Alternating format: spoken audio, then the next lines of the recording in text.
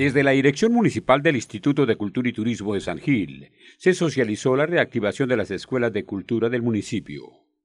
La jefe de despacho dice que por ahora se está en la elaboración del proyecto logístico para el reinicio de actividades de formación y continuidad de los procesos que se venían desarrollando. Gracias por la paciencia, gracias por, por esperar y sabemos que el talento de los niños está en muy buenas manos desde el proceso de dirección y coordinación de la escuela hasta todo lo que tiene que ver con cada uno de los espacios de formación. Hemos visto los resultados día a día con cada uno de los productos cuando los niños y las niñas eh, y los jóvenes, y no solamente esto, sino también los adultos mayores, eh, estamos en, procesos de mostrarlos y hacer visibles ese talento.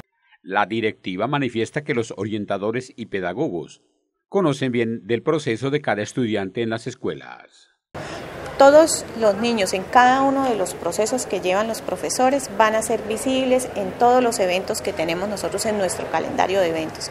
Entonces es importante que, que sepan también los padres de familias que van a poder tener un espacio eh, propio para que la gente que visita San Gil en cada uno de los eventos esté pendiente y vaya y disfrute del talento de los niños y los jóvenes en San Gil. Además hizo énfasis en las modalidades culturales de las escuelas y sus enseñanzas.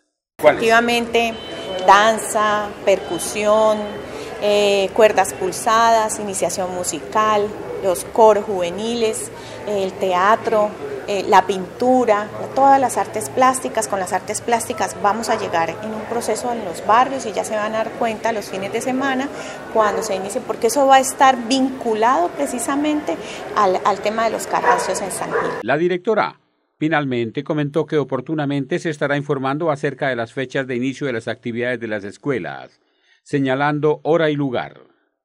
Las modalidades en las escuelas serán en danza, percusión, cuerdas, coros, teatro y artes plásticas.